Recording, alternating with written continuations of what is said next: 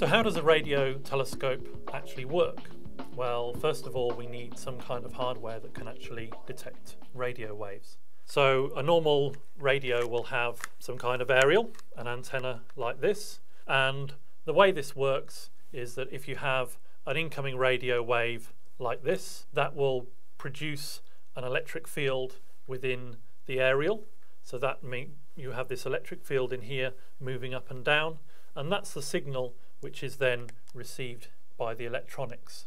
This is called a dipole antenna and it's reasonably sensitive, especially if your radio waves are coming in in this direction. It can just about detect them as well if there's a little bit of an angle there. What this isn't very good at though is detecting radio waves if they're coming in from there. So if you were to point this straight at the sky and try to detect a radio source which is straight above you, then this isn't going to detect those radio waves very well. There's also one more consideration, and that's that radio waves have a direction in which they oscillate. They can come in like this, or they can come in like this. And this is only sensitive to the ones that are coming in like this.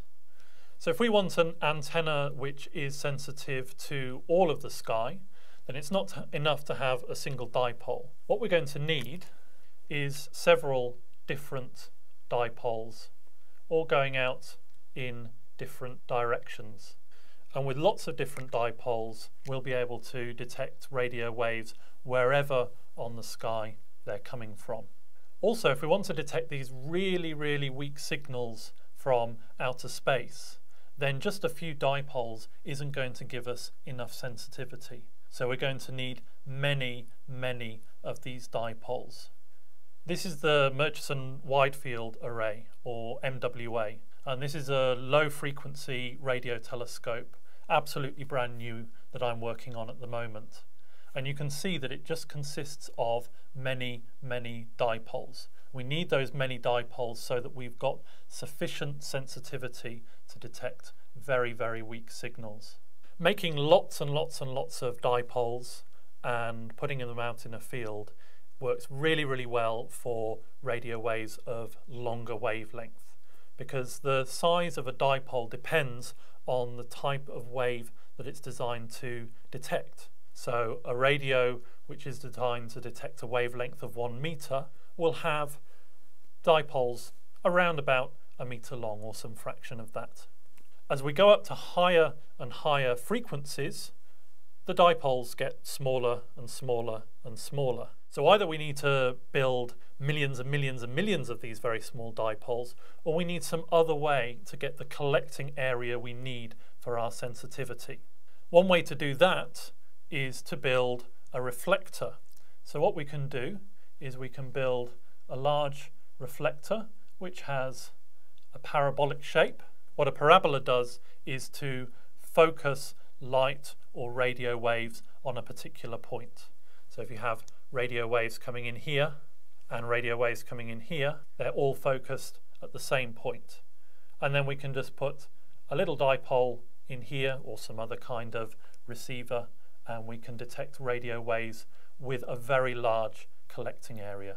This is exactly the principle behind a satellite dish and it's also the principle behind really big radio telescopes such as the Parkes radio telescope.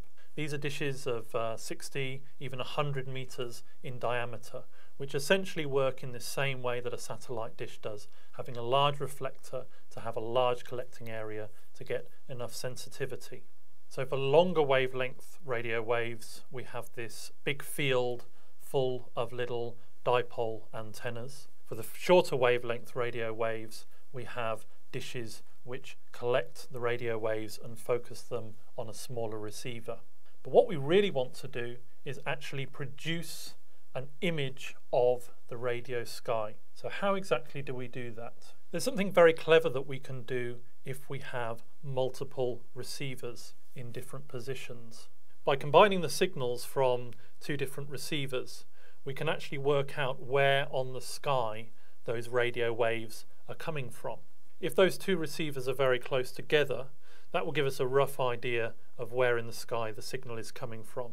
if those two antennas are very far apart, that will give us a very, very precise measurement of exactly where on the sky those signals are coming from.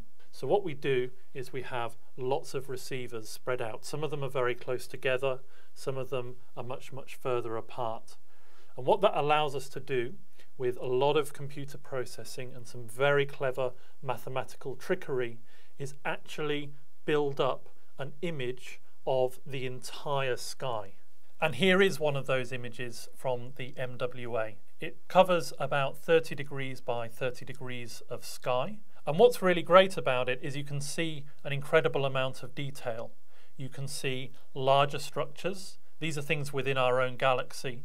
And you can see what looks like lots and lots of stars. This isn't actually light coming from stars, but light coming from many black holes very, very far away, scattered across the universe.